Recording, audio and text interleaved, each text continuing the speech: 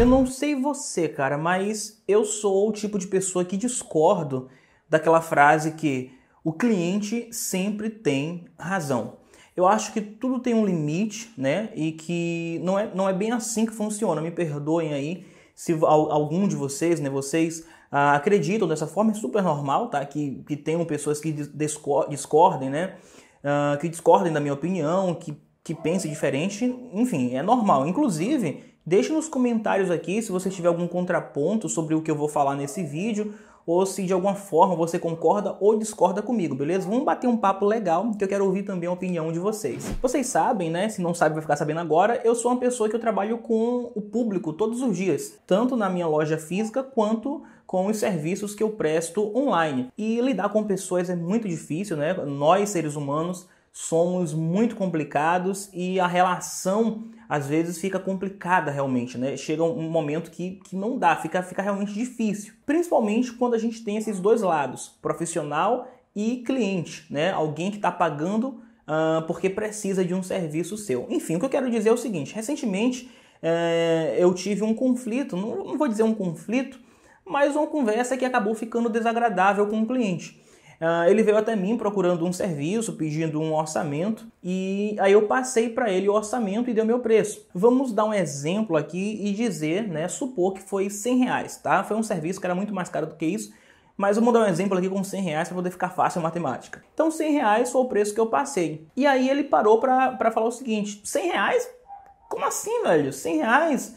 É, poxa, eu passei por ali afora e tava de 45 reais, foi mais ou menos nessa proporção. Eu falei, poxa, bacana tal, né? E esperei ele continuar a conversa dele e, e falar, né, que ali era 45 e tal, e aqui era 100 reais, tava muito mais caro e tal. Eu falei, eu entendo, né, tudo bem. Uh, são estabelecimentos diferentes, né, direção, direção diferente, é, casos diferentes. E é super comum que você ache em outro lugar um preço mais caro ou mais barato do que o meu. E eu falei Sabe, cara, desse jeito que eu tô falando com vocês aqui, super tranquilo, e simplesmente ele queria que eu abaixasse o meu preço para poder ficar igual ao do outro lugar que ele passou, tá? Ele falou, não tem lógica você cobrar 100 reais se não sei aonde é 45. Eu falei, mas, cara, isso é o preço lá, né? Ele tem um motivo para cobrar 45 eu tenho meus motivos também para cobrar 100 reais, tá? São valores fictícios isso aqui, tá, gente? Chega um momento onde o cliente, né, onde a conversa já não é mais para fazer o serviço que ele queria. Começa a ser uma discussão sobre valores. O cliente ele começou a justificar, dar a, a, a sugestão dele, as explicações dele, o porquê que eu não deveria, na cabeça dele, cobrar 100 reais se alguém está cobrando 45.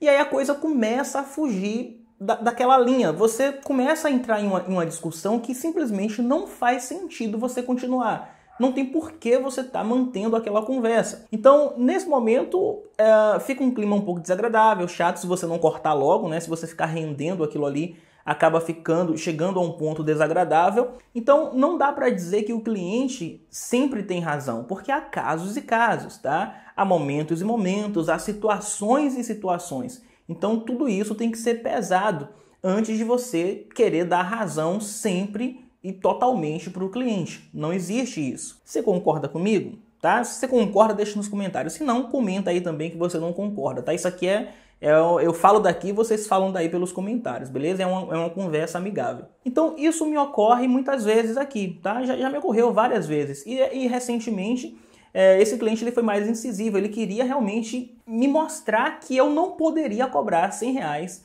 por uma coisa que uma outra pessoa cobrava 45.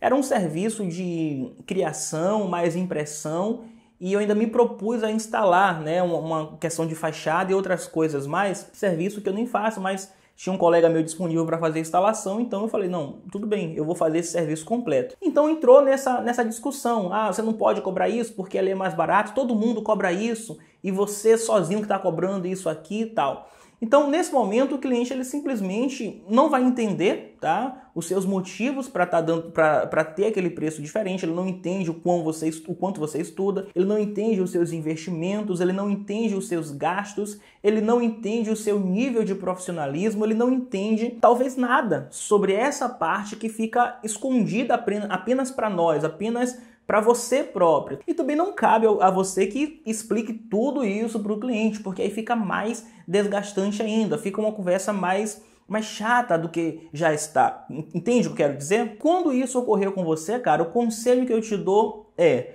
não tratar com grosseria, né? Porque a vontade que dá é dizer, ó, se tá barato lá, cara, se o problema é o preço, aqui tá mais caro e você encontrou mais barato, então faz um mais barato, tá? Não tem por que você tentar me convencer eu fazer mais barato se você já achou alguém mais barato, é só fazer lá. A vontade que dá é largar uma dessa, tá? Mas por ética, educação e profissionalismo, a gente não faz isso. Mas quando situações como essa me ocorrem e ocorrer com você, é interessante que você de alguma forma consiga cortar essa conversa para que ela não se expanda, para que ela não chegue em um nível onde o clima fique pesado, fique chato, tá? Para ambas as partes. Então, de alguma forma educada, você tem que conseguir se sair de uma conversa como essa. Então, olha, tudo bem, tal, ele, né, ele tem os motivos dele para aplicar esse preço, eu também tenho os meus. É assim mesmo, o mercado é assim, né? A concorrência vai ter lugares mais caros, lugares mais baratos, né? vai ter preços ali intermediário e o senhor, né, a senhora tem que fazer realmente o que cabe no seu orçamento. É, é a resposta que eu dou aqui, não, você está certo realmente, tem que procurar um lugar mais barato e tal. Não vou baixar meu preço, eu tenho meus motivos e não, não é um jogo isso, onde você quer ser o mais barato ou quer ser o mais caro, não é um jogo, você, você tem motivos para cobrar um determinado valor. Então, muita gente não entende isso. Então, eu, eu, eu penso dessa forma. Eu não sou o cara que dá razão para, é, para o cliente em tudo, saca? Não tem como você dar razão em tudo para o cliente. Eu penso dessa forma. Eu poderia ficar falando várias outras coisas aqui, dando vários outros exemplos aonde o cliente ele não, né, ele nem sempre tem razão, né? E você não pode dar razão para o cliente sempre, né? Mesmo se ele não tiver, tem comerciantes que acabam se rebaixando e dá razão e, e, e deixa realmente o cliente passar por cima, uh, mesmo que ele esteja trabalhando da maneira certa, fazendo da forma correta. Tá? Isso aqui não é uma crítica a clientes não, tá, pessoal? Esse não é um vídeo de crítica, não é um vídeo para, sabe, para esculhambar o cliente, porque sem um cliente a gente não vai é, sobreviver no mercado, né? Não vai conseguir pagar nossas contas e tal. O que eu quero passar para você é que essa questão de que o cliente sempre tem razão, talvez é um mito, cara. Talvez é uma lenda isso, é uma, é uma conversa que muita gente tem isso como realidade que na verdade não deveria ter. Na verdade não é para não era para ser assim, tá? Meu modo de pensar, acredito que não era para ser dessa forma. Então isso aqui foi mais um bate-papo com você e contando, né, experiências que eu vivencio aqui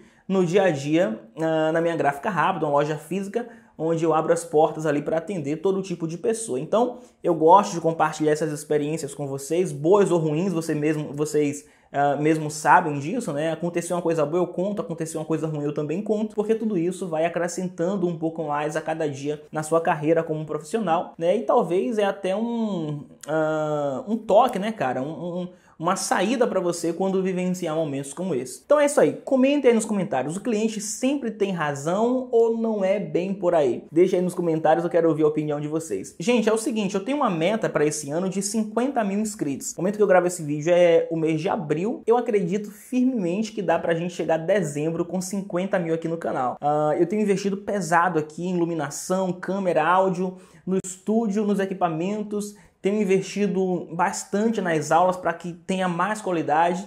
E eu preciso que vocês me ajudem e me dê esse retorno. Compartilhe o vídeo, cara. Olha, se você tem um vídeo aqui no canal, tem mais de 400. Se tem um vídeo aqui que você gostou muito, que de alguma forma te ajudou, nem que seja um pouquinho assim, pega esse vídeo, compartilhe em um grupo de design gráfico no Facebook, no WhatsApp, no Telegram, em algum lugar, com certeza você já vai estar tá me dando uma força incrível, beleza? Pede aí para o seu colega se inscrever, para os colegas dos grupos se inscreverem aqui, vai ajudar demais, beleza? Com a força de vocês aí, com certeza, a gente bate 50 mil até dezembro de 2020. Bom, por hoje era isso aqui, um abraço, a gente se vê no próximo vídeo. Valeu!